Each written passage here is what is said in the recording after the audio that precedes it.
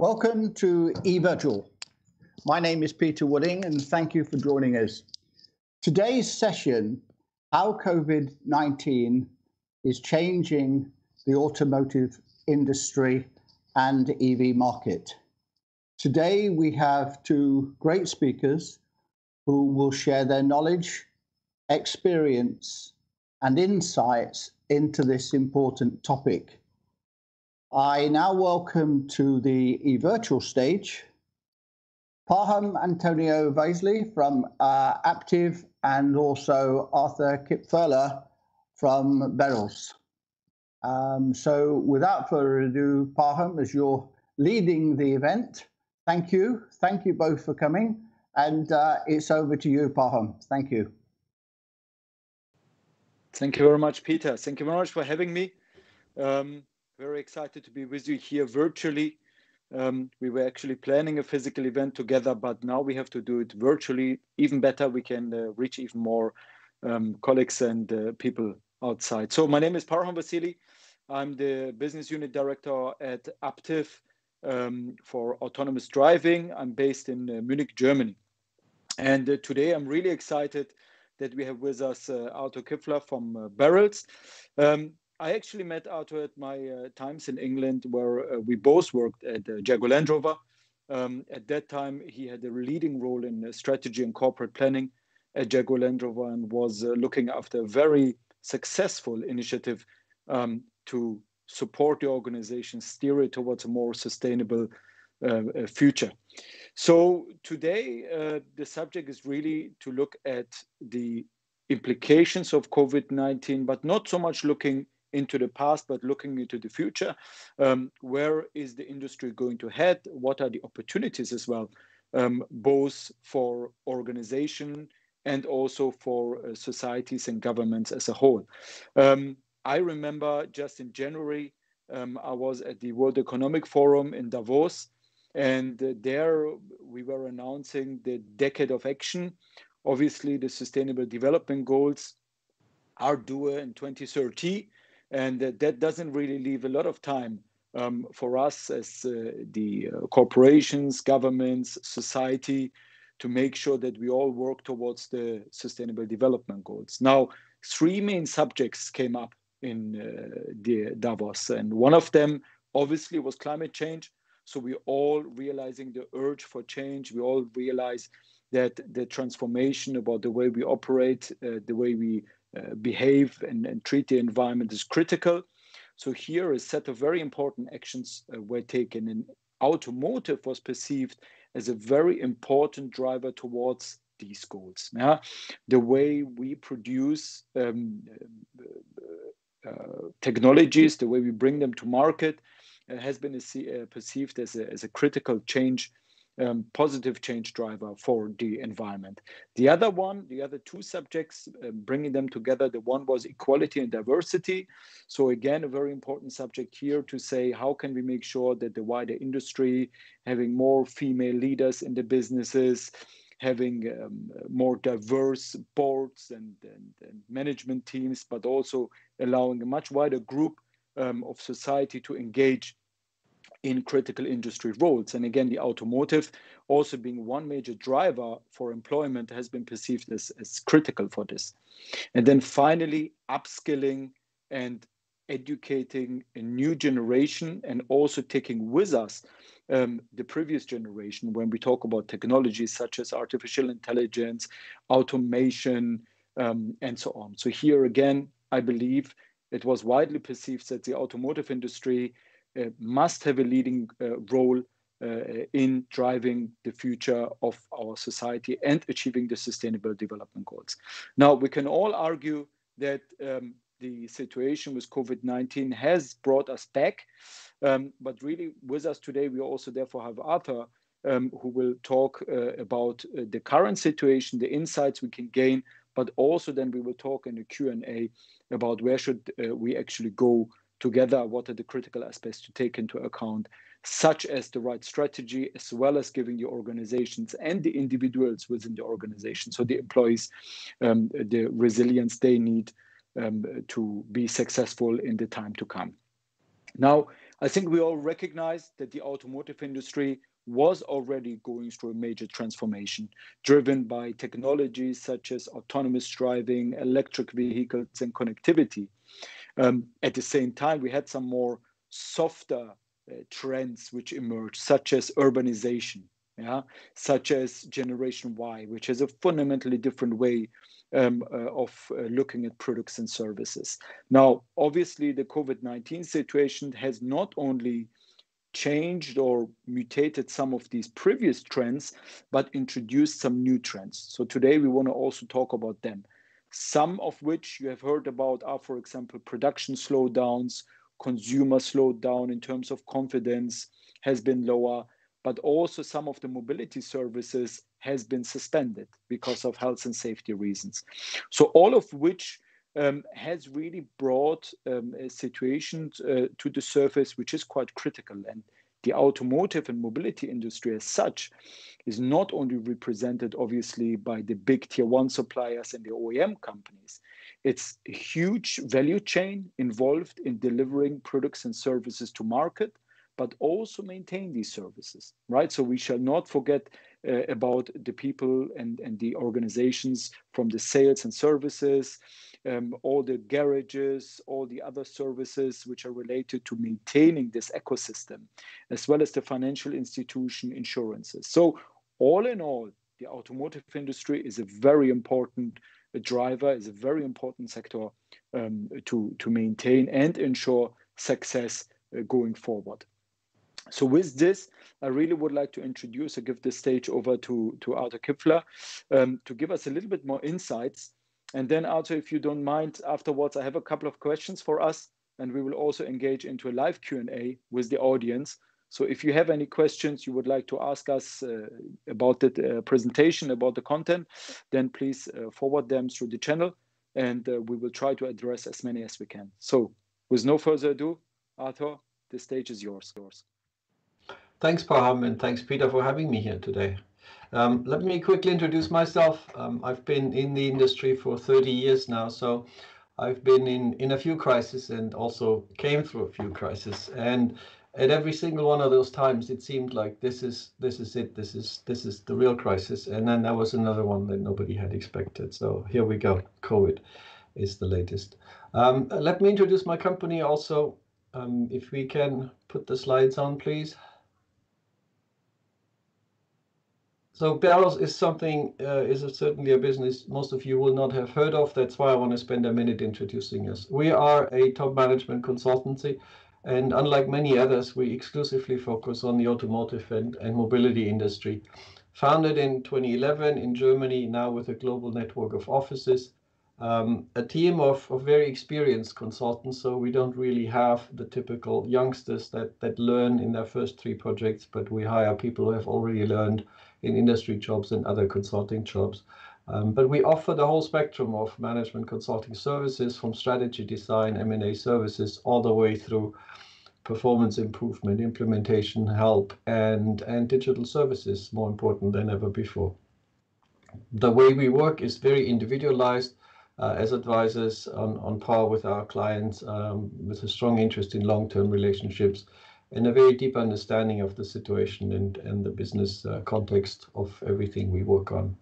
Um, this, this has paid off, and I always uh, very proud to show this slide. It's based on a survey that is done regularly by, by a university institute with actual clients, and we're very proud to win in the automotive industry uh, in terms of best understanding of, of the industry. Um, and you see the other names on here, and it's it's quite uh, a pleasing experience for a company with 60 people uh, to be rated ahead of these giants of consulting. Um, but now let's let's move on to the actual context of today's session. Um, what's happening to our industry? And waiting for the slide to change. Yes, it does. Slight delay because obviously it all goes through the internet.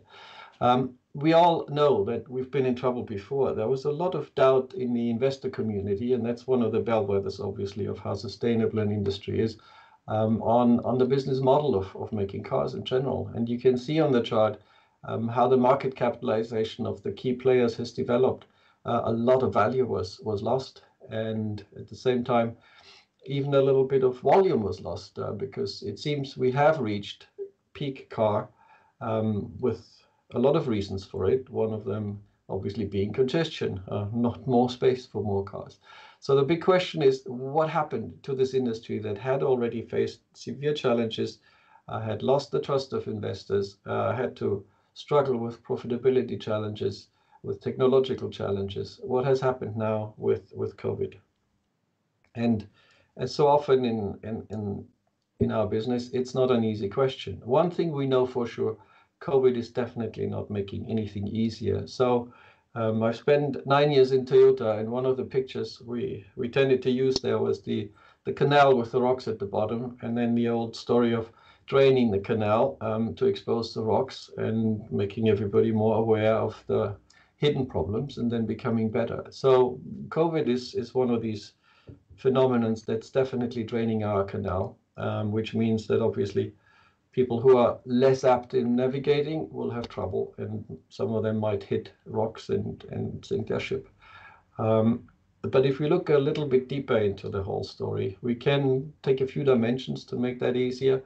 Um, and, and we see the two-prong effect that uh, COVID really has on, on our industry. So big topic has been for everybody, obviously CASE. Um, connected, automated or autonomous, shared and electric, uh, the four mega trends that have put huge strains on R&D budgets, on the business models of car makers, um, and, and that have caused a bit of that trust loss that, that we saw on the previous slide. So what happens now with COVID? Well, on the one hand, something negative. Definitely, we, we saw that the whole shared mobility usage is going down. Um, a lot of the services that were built with a lot of money and subsidized uh, have not had any revenues. Um, definitely, we saw a big drop in car sales, both new and used. No wonder if uh, all the shops were closed worldwide. But we also see positives here. We see definitely a preference um, to go back to cars because people don't want public transportation. They are uh, afraid of getting infected. Uh, secondly, big topic, obviously profitability. Returns in the industry have been falling uh, in the last few years after a very nice rebound after the financial crisis in 2010. Um, so what does COVID do here? Definitely reinforces the whole problem because lost revenue will not be made up, lost production is gone, um, discounts will go up, and it will also reduce the ability to invest into new technologies, into the, for example, the, the double uh, burden of further developing your ICE powertrains while at the same time developing your electric powertrains. Very important for our industry, obviously, consumer behavior. Is that changing? In the past, we, we read out of CASE that obviously buying a car is much less emotionally important for many consumers. Having access to transportation, is it what they're really looking for? Is that changing? Well, again, two-prong approach. Um, on the reducing side, we see definitely less willingness to travel and less need to travel. We'll, we'll see how much of working from home will actually remain common practice. Um, are people still going on vacations as much as they did before? We don't know, and and we'll have to see how behavior changes. Um, but a hardcore change definitely is a reduced ability to spend. Many companies cut bonuses, cut salaries. A lot of people are actually losing their jobs, and, and that will be money that's not available anymore to be spent on vehicles. Um, on the on the positive side, I think we see definitely an emergence of e-commerce. Um, many people who so far were a bit shy to buy a car online are now ready to it because they had to buy basically everything online in, in the months of lockdown. And we definitely see a, a reinforcement of the whole deal seeking. Uh, our industry is plagued with discounts, uh, and that is something that is not being made easier by COVID. Um, another big topic uh, here, supply chains. The, the car industry probably has among the most globalized supply chains of, of all industries. And in the past, we, we were really pushing that for competitiveness reasons, for cost reasons, and also because it was it was uh, enabled by a movement to more free trade. Now, Mr. Trump had already reversed that momentum, and definitely COVID is is helping here to reduce uh, the movement to a positive. On the reinforcement side, um, we see that all those global interdependencies obviously always had a risk, and now this risk has been made very, very visible. Um, similar to, for example, what the Fukushima um, nuclear accident did back in 2011, I think that was, um, where suddenly everybody realized that most of their special pigment come from one factory on a northern Japanese island, and nobody had known that. Um, what we also will see in our supply chains that the burden of overcapacity that we have built up over the years will be harder to bury, um, and we'll see how we deal with that. And lastly, uh, since car companies are obviously companies employing a lot of people, the whole impact on the on the workplace and the culture and the way we collaborate will be enormous. Um, there's certainly a reduction of natural attrition because job markets have contracted, um, and it's not so easy anymore to, to just wait for people to go away. On the other hand, we'll probably have some positive effects that will make it easier to deal with the challenges. Um, everybody got used to remote working, and, and a new spirit and flexibility hopefully has uh, entered a lot of industries. So just a bit more detail on, on each of those so you get some more um, practical flesh on the bones. If we go back to the first topic, e-mobility, automated driving, I think it is undeniable that some of these projects will be delayed. Um, there is obviously simply a break because a lot of people were on furlough and these projects were not mission critical. So these people have been put on furlough in many of the organizations. And then, as I said before, we'll have uh, a pressure on funding. So there will be reviews of project portfolios in in in all these companies going on. Um, the question is, what is still mission critical? What has to continue? And and in our perspective, e-mobility is is something that cannot uh, be slowed down. We still have global warming. We still have all the regulation on CO2 and other emissions, uh, and we will need to continue to electrify. Uh, a topic that's much more uh, on the question list is, is new mobility. Um, first of all, we don't really know how mobility is going to develop in the next few years. Secondly, these were more nice to have investments for quite a few players, and they were not making money. So, the question here is how do we re-evaluate new mobility business cases, the investments that are in the portfolios, and and we expect quite a few exits here. Uh, if it can't be sold, it will simply be shut down. And then with even more uncertainty now in the world, how do you diversify? How do you evaluate new ideas in the business? Um, we all know the industry has to keep transforming itself. Um, new opportunities obviously have to be grabbed, but uh, now we have an additional dimension of uncertainty that's not going to make these decisions easier. Moving on to margin pressure, um, I think we can cover that very quickly there is much less money in the system in, in, in all players now. And so how do we prioritize long-term investments versus short-term cash preservation is going to be an art, uh, not so much a science, uh, and it will definitely impact the, the future success of a lot of the players. Um, everybody has to reduce investment while still delivering. Um, so we will see a lot more push towards collaborations. People will have to be more open to work with partners and competitors on certain things um, just to to get the stuff done. And then we will need to see this balance and and here obviously important aspect your people your other stakeholders can you just push for cash preservation uh, lay off as many people as possible or do you actually have to think a little bit longer term and it's interesting to watch for example the different statements that uh, uh, leaders make if they work for Toyota or if they work, for example, for, uh, if we just saw it here, um, the, the aerospace companies in America. Obviously, um, so there's a lot more attached to a long-term thinking to their people, to the benefits to society. Whereas if you are publicly traded business in America, you have to deliver to your shareholders, and, and you just let 20,000 people go if you don't have a job for them tomorrow. Um, talking about customer behavior, um, really, really good to see how customers have moved online. I mean, our industry has been the last one, I think, in, in all industries to digitalize the consumer front end. Um, it had to be done by third parties like uh, the, the startups that, that made e-commerce happen in, in our industry. Everybody else was kind of dragging their feet. Uh, now with the showrooms closed, suddenly a lot of the salespeople learned how to sell cars per email and and uh, I have a few dealers I work with very closely, and they really had good order intakes. And it was not that the business stopped; uh, we just had moved online, and we had salespeople who took that opportunity by the horns and uh, sold four cars after Saturday night's dinner. Something that would have not been done before because showrooms closed. I'm not answering emails. So here's something that's positive. Um, but on the other hand, obviously we have uh, influence on consumer behavior in the sense of I have less money, I want a better deal, or I will use my car longer, I will push my purchases out. Um, and we'll really have to see how how now, especially in Europe, where where driving across borders is a big thing, how the whole travel restrictions will go away quickly. Because if I cannot fly on vacation, I would love to drive. If I cannot cross the borders, there's really no reason to buy a new car for a vacation. So it is kind of a, a very complex system that has to be put back into motion all the way from pubs opening uh, through to borders opening. And that might have a huge impact on demand I think in, in quite a few countries, the, the first signals are quite positive. I mean, we had order intake through the shutdown. We have very good showroom traffic in some of the countries now.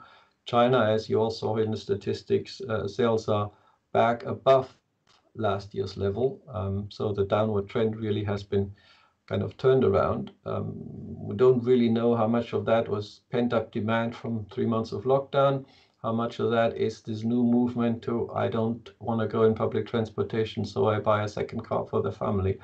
Um, we'll have to watch it closely, but definitely uh, among the key questions here is how do I avoid overreactions now? Um, like, what is the right mix between supply and demand? How fast do I ramp up the plant to avoid waiting times, to avoid undersupply, uh, but also to avoid oversupply and then the resulting uh, discount battle? Um, in terms of the digitalization, I put the question down here, how do we deal with third parties? It has been an unsolved question before. It's still an unsolved question now. But with the digital part of the whole sales and marketing chain being so much more important, this question is ever more urgent than before. So I think uh, a lot of projects in OEM organizations will have to focus on these questions now, no matter if the people work from home or, or if they're already in the office. Supply chains, big topic, and, and not just the COVID topic. As I said before, we had a, a trend already away from globalization because of Mr. Trump and more nationalistic thinking of many government leaders, also because of sustainability. Does it really make sense to ship things three times around the world before they are being put into a car?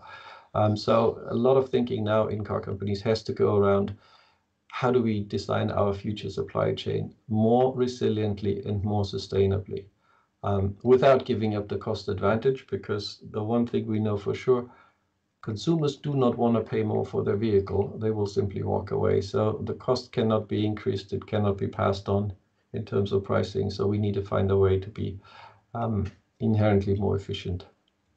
And then obviously short-term task here also, how do we ramp up again? How do we find signals that a supplier is almost not going to make it and we need to put special help in place, uh, whereas others might not need help. Um, in a supply chain that is not really fully digitalized yet, and that is also uh, not really transparent, especially if we go down uh, a few tiers in the organization. Um, a big question related to supply chain, obviously, is the whole um, core capability, core competency question. What should manufacturers do themselves? What should they outsource? How should they outsource? Do they partner? Do they simply buy to print? Um, also, again, uh, not something new, but a question that has gained new dynamics through the current crisis and that needs a solution. Um, then, in terms of the workplace, um, I guess we all work from home. We do conferences from home, so we've learned new things. Um, as, as a consulting business, we have done board workshops um, with 12, 15 people um, over six hours, all through video conference. If you had suggested that six months ago, people would have said, are you crazy? This is never going to work. Uh, it now has worked. So how, how can we preserve that, that agility and carry it over into, into the work life after the crisis? Because it is a lot more uh, efficient, not only for people like me who travel from one client to the other, uh, which obviously is much easier with a mouse click than with an airplane, um, but also for companies. There are global businesses with many locations. And um, Parham, uh, if we think back to our JLR times, how much time did we spend driving back and forth between Coventry and Gaydon, which is only 20 minutes, but it's still yes. 20 minutes every time. Um, a lot of that could have been avoided by just using a video conference tool, but it was not common practice. So a lot of that will probably now become current practice. Uh, and, and I didn't put it on the slide, but the obviously short-term question here is, how do we make the workplaces safe for people to feel safe to come in? Because obviously a lot of people are really worried about getting infected and they don't want to go to an office that is not safe. Um, yeah. So if I put it all together on one slide, um, definitely in a summary sentence, not much new from COVID. I think our industry was not fatally hit and it was also not magically cured by the virus. So we have a lot of tasks, especially in the short-term short -term side, that have been reinforced, uh, and we still have all the tasks that we had on the long-term side that we had to do before. I think one thing that really stands out as as a COVID measure with the whole collapse of, of value in, in, in the industry, in the stock markets, uh, is there an opportunity for strategic acquisitions for certain players? Obviously requiring that yourself as the acquirer, you still have that financial flexibility and the funds. Um, but there's definitely now things out there that, that you could pick up uh, that were simply overvalued or valued too highly uh, six months ago. And I think it will also give us a push, a need to think more holistically. If you think of scenario analysis and planning, um, I don't think anybody had in any of their scenarios a shutdown for three months. I've never done it. We've discussed it in scenario planning exercises, and it was kind of in the World War III category where you said, well, if that comes, then we'll have to deal with it, but we're not going to think about it now. We're not going to plan for it. And now we suddenly all had to plan for it and, and deal with it. So I think in the future, people will draw their scenarios a little broader and, and have more kind of worst case and extreme cases in it. So that's that's my summary and, and quickly um, trying to go through a bit of content, but uh, I think the most interesting part of the session today is the discussion. So Parham, how do we move on?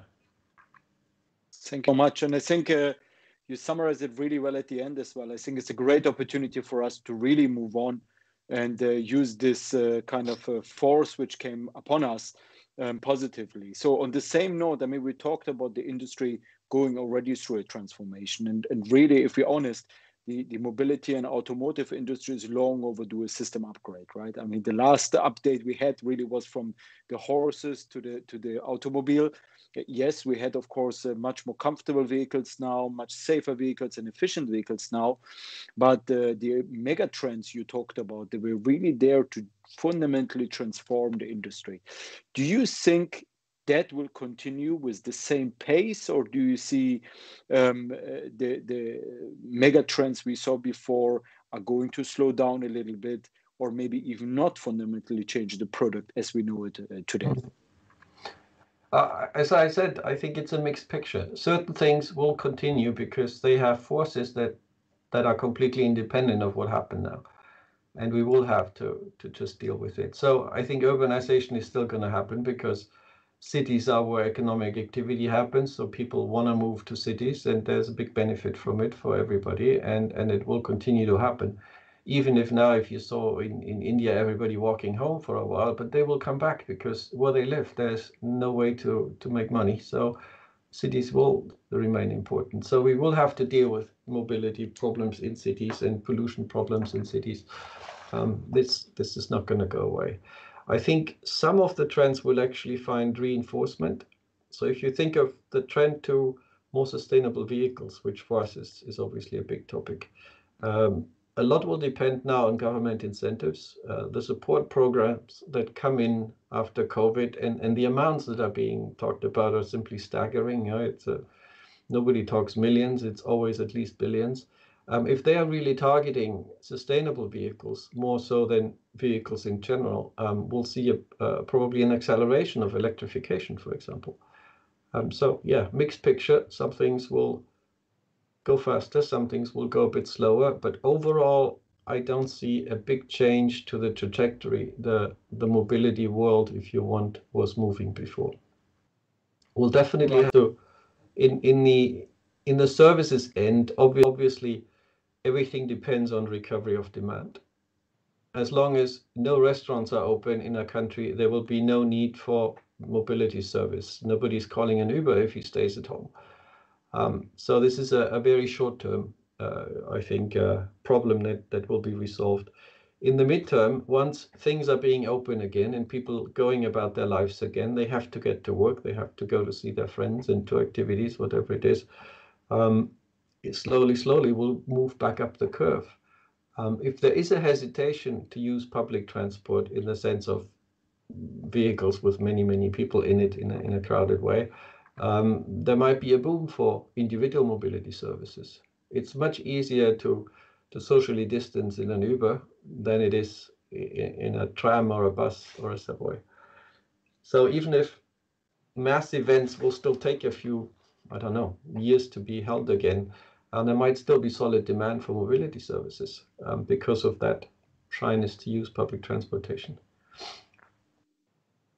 So right, I, I fully agree. I think that's really an opportunity to um, look forward and uh, really achieve uh, some of the um, uh, goals more for more sustainable and climate uh, change.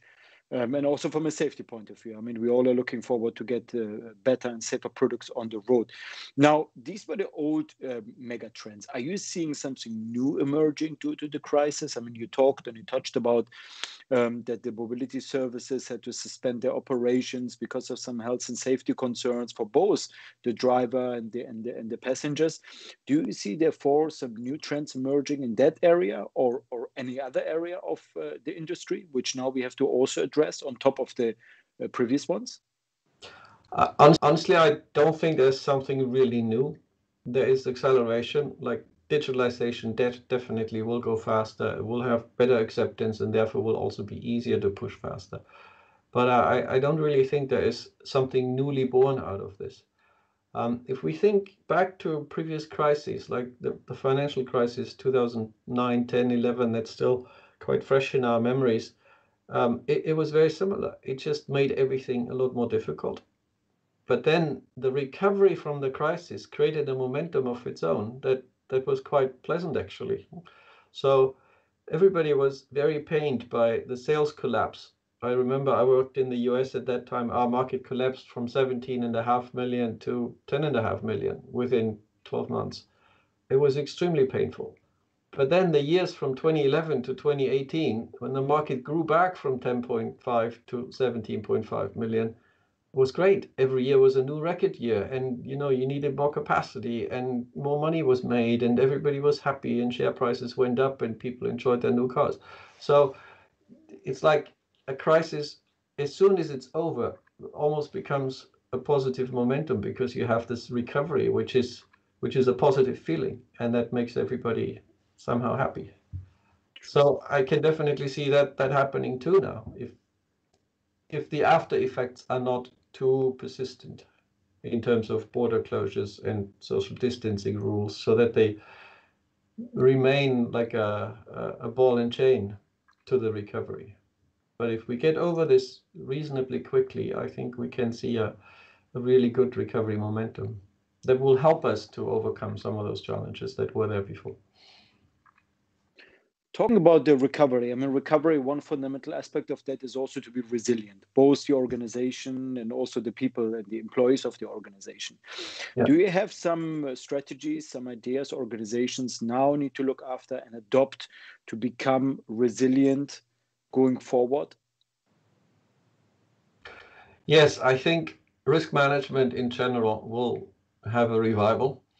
Um, people will look at their processes with a wider horizon, as I said before. So um, you will probably include some more extreme scenarios. You will include safety and insurance against events that before you said, oh, it's anyway not going to happen. We'll, we'll just uh, deal with it when it happens.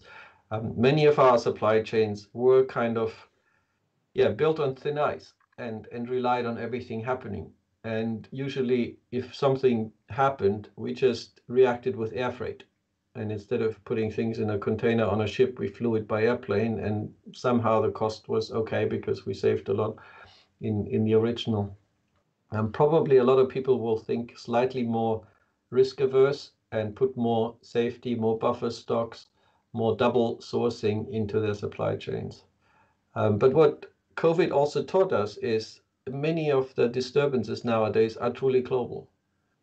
So it doesn't really help you to have a second supplier in, in Asia to back up your European first supplier if both regions shut down because the crisis is global. So it's kind of a, you know, a new normal in the world is, yes, global is really meant like it. Things happen in sync around the world.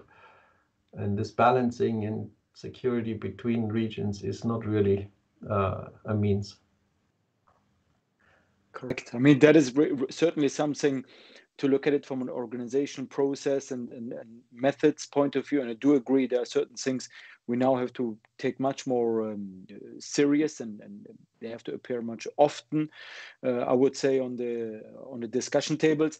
At the same time i think from from my own point of view we also have to of course work even further on the resilience of our employees. Yeah? so we have to work give them the right mental and cognitive capabilities to deal with the situations um, and see the opportunities. I think that would be certainly something which is a recommendation. So also from my side to say that the organizations already today have to work on that and give the employees the right tools and the methods uh, to deal with that yeah.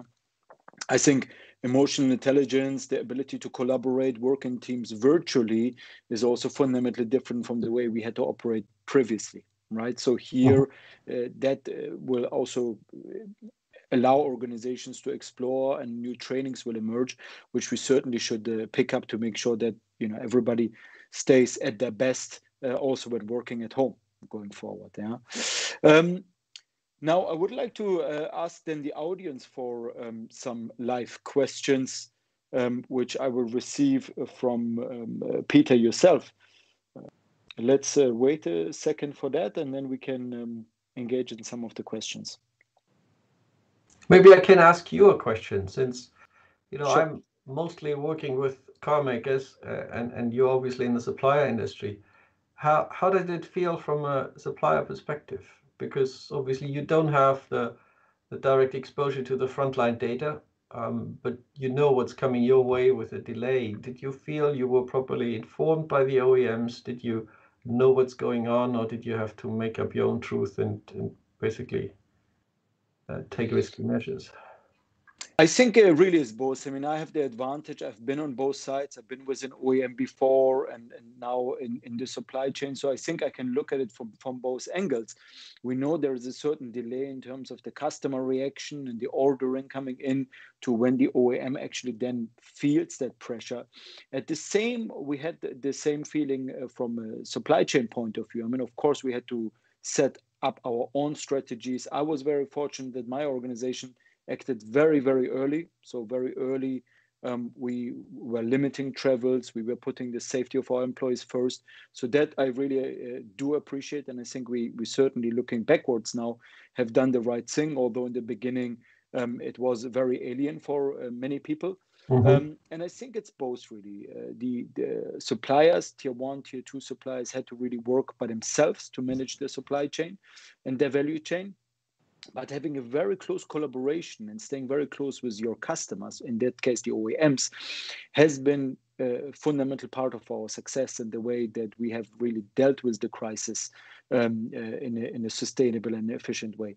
Of course, um, you cannot change market situations. You cannot fundamentally change uh, the impact these things have on your customers and uh, as being the OEMs. But the strong collaboration, very short communication uh, lines um, really has helped um, to uh, maintain confidence both for our employees and towards our customers. Mm-hmm. So having that transparency and that continuous conversation is uh, really critical. Yeah. And as you work in autonomous driving mostly, um, do you think you have lost time and will slow down, or will we see still autonomous vehicles at the time we would have seen them without COVID? Um, well, that's uh, that's always the one million dollar question about the yeah. timing for for the whole thing. I mean, again, the the announcements from the various organizations, um, they maybe not always result, as we know, in the big bang um, solutions and the transformation we uh, they originally were expected to deliver. But overall, I have great confidence in the industry. I have great confidence in uh, the supply chain. You know, even in the wider um, industry and the sector, the OEMs, the other competitors, the academic partners. I think all in all, I see a very positive trend moving forward that, like you said, many organizations are also now talking with each other.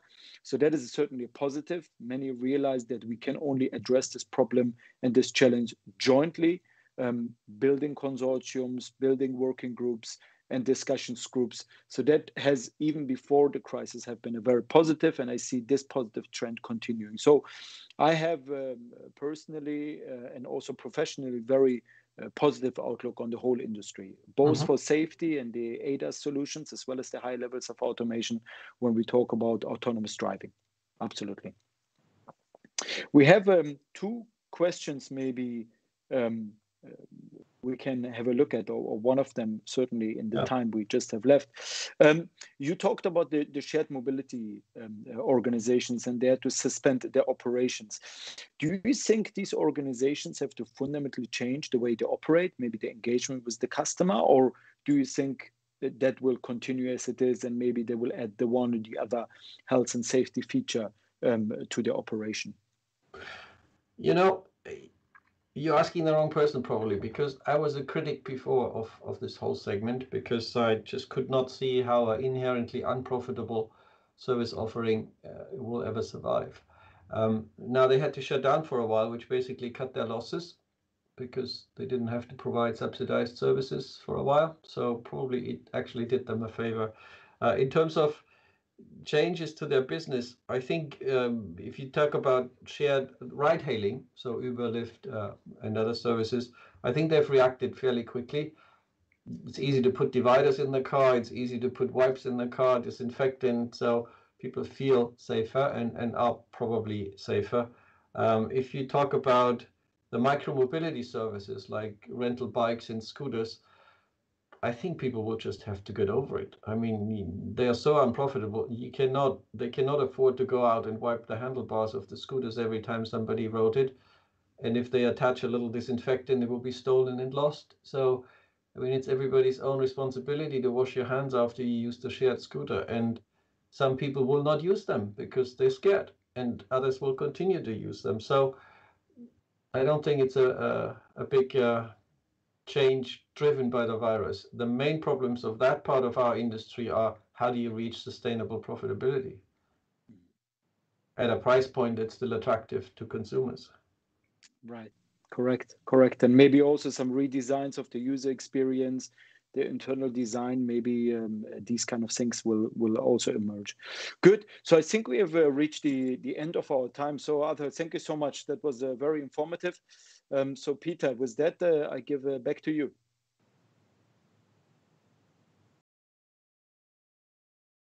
And Peter's on mute.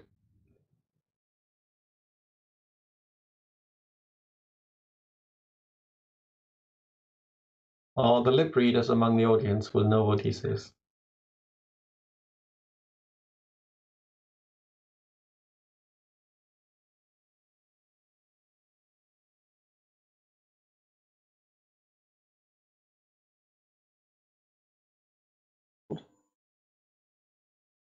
That always happens if you.